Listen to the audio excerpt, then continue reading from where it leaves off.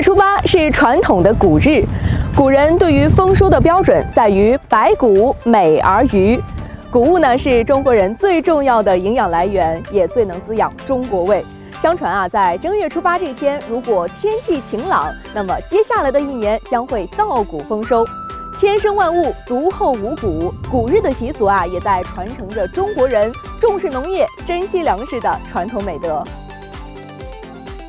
正月初九赶庙会，庙会可以说在宿迁地区广为流传，像蔡庄庙会、龙安庙会和双沟庙会都有千年以上的历史。但要数影响力最大的，还当属皂河正月初九庙会。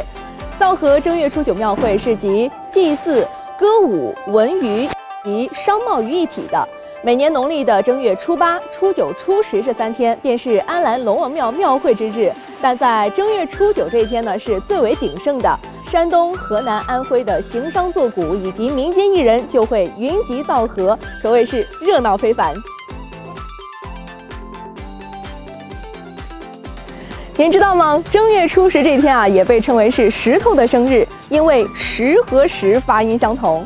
旧时的时候，人们会在除夕这一天给这些石器贴上春联儿。在正月初十之前是禁止使用的。那么在初十这天呢，会祭拜与石器有关的碾神啊、磨神啊等等。在正月初十以后就可以开封使用了。所以说这天也被称为石不动。